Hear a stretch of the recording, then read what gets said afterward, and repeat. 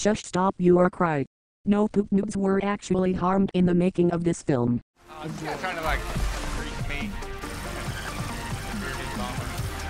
Yeah! Gotcha. Want to see it again? Beardless Bomber? How the fuck did Beardless Bomber get in here?